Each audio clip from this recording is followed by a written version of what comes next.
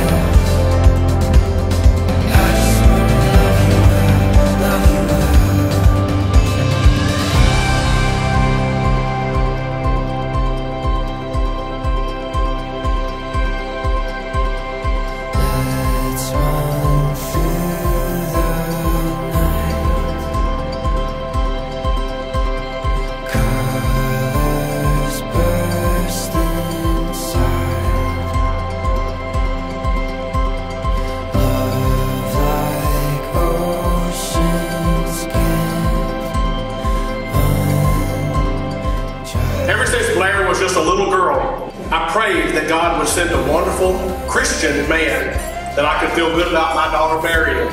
And as always, God is good and He answers prayers. Gary and Sharon, you raised a good one. Hunter, welcome into our family.